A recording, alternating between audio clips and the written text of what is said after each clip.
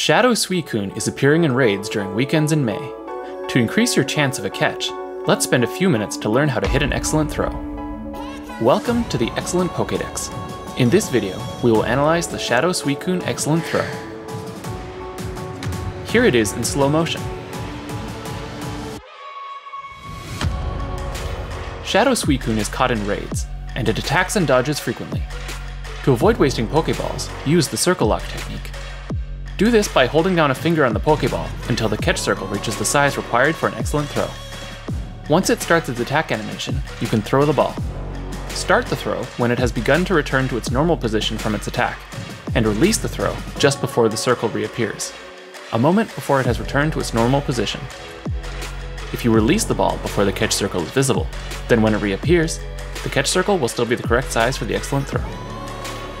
My approach is to throw from the lower right corner to a point almost directly to the left of the Pokemon's head, slightly above the horizon. The Pokemon is at a medium distance and requires an assertive release speed.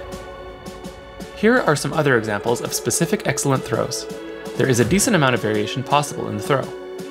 To help understand the full range of possible throws, here are all my successful release points, along with an average release point that should be targeted. This shows the maximum catch circle size for an excellent throw where the catch circle is 30% of the diameter of the gray circle. Please hit like and subscribe, and I'll see you next time here at the Excellent Pokédex. Thanks for watching!